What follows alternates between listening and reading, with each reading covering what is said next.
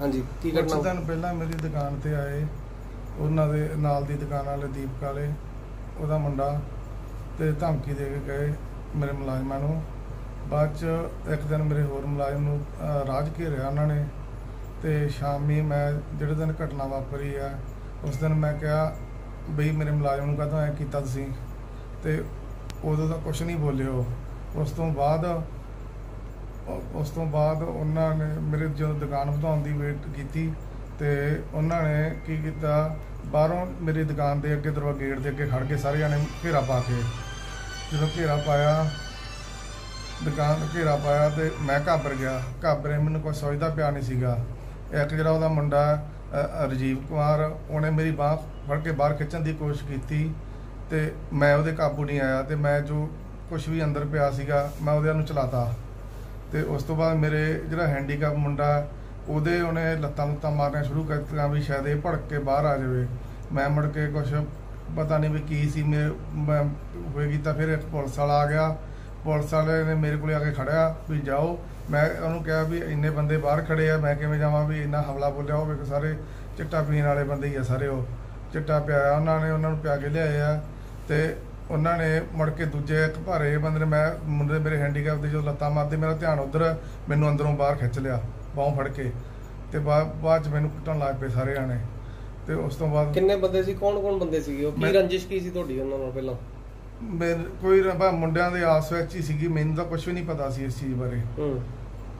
ਬਈ ਇਹ ਦੱਸਦੇ ਵੀ ਧਮਕੀ ਦੇ ਕੇ ਗਏ ਸੀਗੇ ਬਈ ਤੁਸੀਂ ਆਏ ਨਹੀਂ ਆਏ ਕਰਨੇ ਆਏ ਆ ਕੁਛ ਵੀ ਕਰਦੇ ਆ।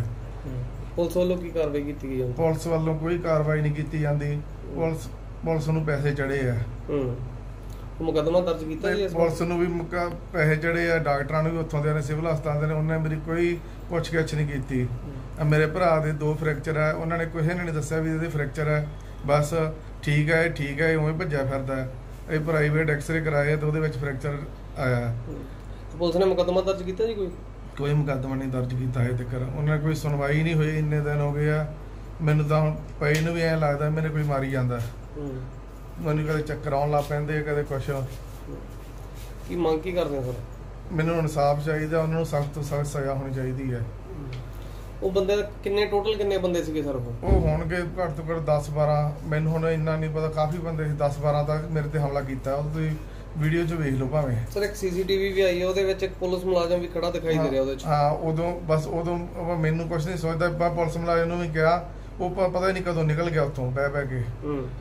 ਉਹ ਉਹਦੇ ਉਹਨਾਂ ਦਾ ਮੈਨੂੰ ਤਾਂ ਐਂ ਲੱਗਦਾ ਵੀ ਉਹਨਾਂ ਨੇ ਉਹਨੂੰ ਵੀ ਪੈਸੇ ਨਾ ਦਿੱਤੇ ਹੋਣ। ਤੁਹਾਡੀ ਦੁਕਾਨ ਤੇ ਕਿੰਨੇ ਜਣੇ ਸੀ ਟੋਟਲ ਅਸੀਂ ਸਿਰਫ ਇੱਕ ਹੈਂਡੀਕੈਪ ਮੁੰਡਾ ਸੀਗਾ ਉਹ ਉਹਨੇ ਤਾਂ ਬਾਹਰੋਂ ਸਮਾਨ ਚੱਕਦਾ ਪਿਆ ਸੀਗਾ ਤੇ ਇੱਕ ਅੰਦਾ ਮੁੰਡਾ ਮੁੰਦਰ ਮੁੰਡਾ ਸੀਗਾ। ਉਹਦੇ ਛਡਾਇਆ ਨਹੀਂ ਜੀ ਪਬਲਿਕ ਨੇ ਤੁਹਾਨੂੰ ਕਿ ਕਿਸੇ ਕੋਈ ਕਿਸੇ ਨੇ ਨਹੀਂ ਛਡਾਇਆ। ਤੁਹਾਡੇ ਬ੍ਰਦਰ ਦੇ ਵੀ ਸੱਟਾਂ ਵੱਜੀਆਂ? ਬ੍ਰਦਰ ਨਾ ਬ੍ਰਦਰ ਨੂੰ ਕਿਸੇ ਨੇ ਆਂਢ ਗੁਆਂਢ ਫੋਨ ਕੀਤਾ ਉਦੋਂ ਤਾਂ ਮੈਨੂੰ ਕਾਫੀ ਕੁੱਟਤਾ ਸੀ ਉਹਨੇ ਮਾਰਤਾ ਸੀਗਾ।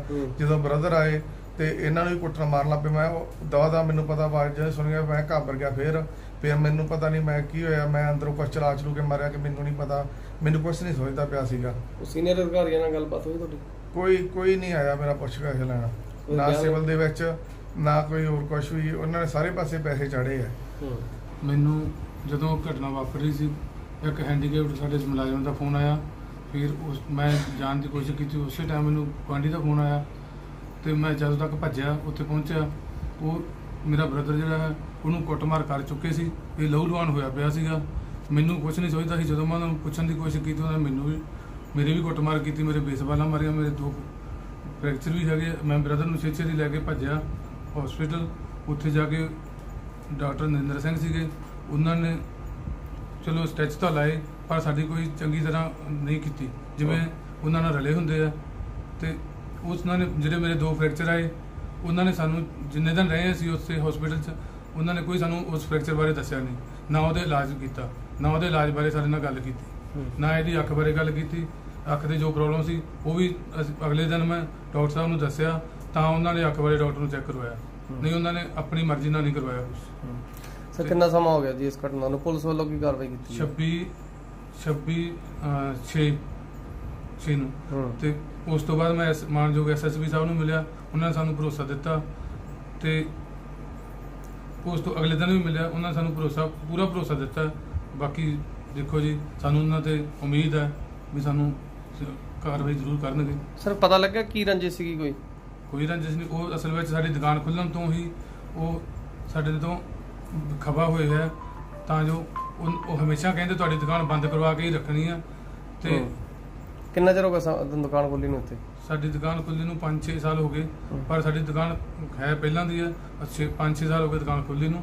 ਤੇ ਉਹ ਸਾਡੀ ਦੁਕਾਨ ਬੰਦ ਕਰਵਾਉਣ ਦੇ ਮੂਡ ਵਿੱਚ ਹੀ ਆ ਕਦੇ ਕਿਸੇ ਕਿਸੇ ਨੂੰ ਭੇਜ ਦਿੰਦੇ ਕਦੇ ਕਿਸੇ ਨੂੰ ਭੇਜ ਦਿੰਦੇ ਆ। ਹੁਣ ਵੀ ਜਦੋਂ ਮੈਂ ਪਹੁੰਚਿਆ ਇਹਨਾਂ ਕੋਲੇ ਬ੍ਰਦਰ ਨੂੰ ਦੇਖ ਜਦੋਂ ਫੋਨ ਆਇਆ ਮੈਨੂੰ ਉੱਥੇ ਪਹੁੰਚਿਆ ਉਸ ਵਾਰਦਾਤ ਦੇ ਮੌਕੇ ਉੱਥੇ ਪੂਰਾ ਸਮੂਹ ਬਣਾ ਕੇ ਜਿਵੇਂ ਮਸ਼ਵਰਾ ਕਰਕੇ ਆਏ ਹੁੰਦੇ ਆ ਵੀ ਸਾਰੇ ਆਪਸ ਵਿੱਚ ਪੂਰਾ ਸਮੂਹ ਬਣਾ ਕੇ ਘੇਰਾ ਪਾਇਆ ਹੋਇਆ ਸੀਗਾ। ਤੇ ਛਡਾਉਣ ਵਾਲਾ ਕੋਈ ਨਹੀਂ ਸੀ ਜਿਹੜੇ ਪਿੱਛੇ ਸਾਈਡ ਦੇ ਬੰਦੇ ਖੜੇ ਸੀ ਉਹ ਵੀ ਉਹਨਾਂ ਦੇ ਹੀ ਬੰਦੇ ਸੀਗੇ। ਜਿਹੜੇ 8-10 ਬੰਦੇ ਵਾਰ ਕਰ ਰਹੇ ਸੀ ਉਹ ਤਾਂ ਸੀਗੇ ਜਿਹੜੇ ਸਾਈਡ ਤੇ ਖੜੇ ਸੀ ਉਹ ਵੀ ਉਹਨਾਂ ਦੇ ਹੀ ਬੰਦੇ ਸੀਗੇ ਜਿਹੜੇ ਕੀ 15 ਮੰਗ ਵੀਹ ਕਰ ਰਹੇ ਬੰਦੇ ਹੋ ਕੀ ਮੰਗ ਕਰਦੇ ਹੋ ਕਿ ਇੰਨੇ ਦਿਨ ਹੋ ਗਏ ਕਾਰਵਾਈ ਨਹੀਂ ਹੋਈ ਕਿਸੇ ਤਰ੍ਹਾਂ ਦੀ? ਸਾਨੂੰ ਇਨਸਾਫ ਚਾਹੀਦਾ ਸੀ ਹੂੰ। ਲੱਗਦਾ ਹੈ ਇਨਸਾਫ ਮਿਲ ਪਾਊਗਾ ਜੀ ਤੁਹਾਨੂੰ ਕਿਉਂਕਿ ਐਸਐਸਪੀ ਸਾਹਿਬ ਨੂੰ ਤੁਸੀਂ ਮਿਲ ਚੁੱਕੇ ਹੋ ਇਸ ਬਾਬਤ। ਐਸਐਸਪੀ ਸਾਹਿਬ ਨੇ ਤਾਂ ਸਾਨੂੰ ਪੂਰਾ ਭਰੋਸਾ ਦਿੱਤਾ ਹੈ, ਪਰ ਲੋਕਲ ਪ੍ਰਸ਼ਾਸਨ ਤੋਂ ਲੋਕਲ ਐਸਐਚਓ ਸਾਹਿਬ ਤੋਂ ਜਾਂ ਕਿਸੇ ਤੋਂ ਸਾਨੂੰ ਉਮੀਦ ਨਹੀਂ ਲੱਗਦੀ ਨਾ ਡਾਕਟਰ ਤੋਂ ਲੱਗਦੀ ਹੈ। ਡਾਕਟਰ ਸਾਡੇ ਵਿਰੁੱਧ ਹੀ ਚੱਲ ਰਿਹਾ ਸਾਨੂੰ ਲੱਗਦਾ ਵੀ ਡਾਕਟਰ ਵੀ ਉਧਰ ਰਲਿਆ ਹੋਇਆ ਤਾਂ ਹੀ ਉਹਨਾਂ ਨੇ ਸਾਨੂੰ ਨਹੀਂ ਦੱਸਿਆ ਇਸ ਐਸਐਚਓ ਸਾਹਿਬ ਕੀ ਕਹਿੰਦੇ ਨੇ? ਐਸਐਚ ਸਾਹਿਬ ਨੂੰ ਮਿਲਣ ਗਏ ਸੀ ਉੱਥੇ ਵੀ ਸਾਨੂੰ ਉਹ ਟੁੱਟ ਕੇ ਪੈ ਗਏ। ਹੂੰ। ਜੋ ਆਪਦੀ ਮਰਜ਼ੀ ਨਾਲ ਲੈ ਕੇ ਉਹਨਾਂ ਨੇ ਆਪਦੀ ਮਰਜ਼ੀ ਨਾਲ ਸਾਥੋਂ ਬਿਆਨ ਕਰਵਾਇਆ। ਸਾਨੂੰ ਨਹੀਂ ਪਤਾ ਕਿ ਉਹਦੇ ਵਿੱਚੋਂ ਵੀ ਜਿਹੜੇ ਹਿਸਾਬ ਨਾਲ ਉਹਨਾਂ ਦੇ ਫੇਵਰ 'ਚ ਬਣੇ ਹੂੰ। ਉਸ ਹਿਸਾਬ ਨਾਲ ਉਹਨਾਂ ਨੇ ਬਿਆਨ ਲਿਖਿਆ। ਕਿਉਂਕਿ ਬਿਆਨ ਪੜ੍ਹੇ ਨਹੀਂ ਸੀ? ਬਿਆਨ ਉਹਦੇ ਵਿੱਚੋਂ ਲਿਖਿਆ ਉਹਨਾਂ ਨੇ ਤੇ ਕਹਿੰਦੇ ਸਾਈਨ ਕਰੋ ਜੀ। ਸਾਡੇ ਪੂਰੇ ਗਵਾਹ ਨਹੀਂ ਲਿਖੇ ਉਹਨਾਂ ਨੇ। ਹੂੰ।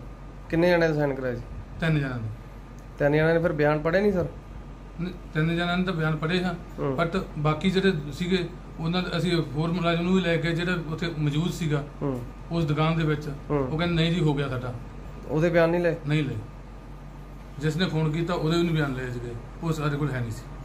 ਇਹ ਜੀ ਦੋ ਦੁਕਾਨਦਾਰਾਂ ਦੇ ਜਿਹੜੇ ਕੋਲ ਵਰਕਰ ਕੰਮ ਕਰਦੇ ਆ ਉਹਨਾਂ ਨੂੰ ਲੈ ਕੇ ਤੂ ਤੂ ਮੈਂ ਮੈਂ ਸ਼ੁਰੂ ਹੋਈ ਜਿਸ ਤੋਂ ਬਾਅਦ ਇਹ ਆਪਸ ਦੇ ਵਿੱਚ ਭਿੜ ਪਏ ਜਿਸ ਤੇ ਅਸੀਂ ਅ, ਸਮਰਜੀਤ ਦੇ ਬਿਆਨਾਂ ਤੇ ਪਰਚਾ ਦਰਜ ਕਰਤਾ। ਅਹ ਸਰ ਵੀਡੀਓ ਕਾਫੀ ਵਾਇਰਲ ਹੋ ਰਹੀ ਕਿ ਕਿਹਾ ਜਾ ਰਿਹਾ ਕਿ ਬਾਹਰੋਂ ਬੰਦੇ ਮੰਗਾਏ ਗਏ ਸੀ।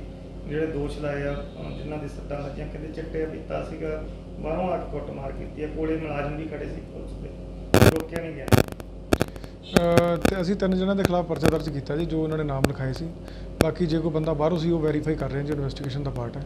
ਜੇ ਕੁਝ ਪਤਾ ਡਾਕਟਰੀ ਸ਼ਾਇਦ ਅੱਜ ਕੋਈ ਵਾਧਾ ਹੁੰਦਾ ਉਹਨਾਂ ਦੇ ਸੱਟਾਂ ਦਾ। ਕੋਈ ਇੱਧਰ ਵੀ ਵਾਧਾ ਹੁੰਦਾ ਹਾਲੇ ਤੱਕ ਤਾਂ ਜੀ ਇੱਕ ਇਹਨਾਂ ਦੇ ਸੱਟ ਅੰਡਰ ਐਕਸ-ਰੇ ਹੈ ਜੀ। ਉਹ ਡਾਕਟਰ ਸਾਹਿਬ ਨੇ ਹਾਲੇ ਰਿਪੋਰਟ ਨਹੀਂ ਦਿੱਤੀ। ਜਦੋਂ ਰਿਪੋਰਟ ਹੋਊਗੀ, ਉਹਦੇ ਮੁਤਾਬਕ ਅਸੀਂ ਜੋ ਬਣਦੀ ਕਾਨੂੰਨੀ ਕਾਰਵਾਈ ਹੋਊਗੀ ਕਰਾਂਗੇ ਜੀ।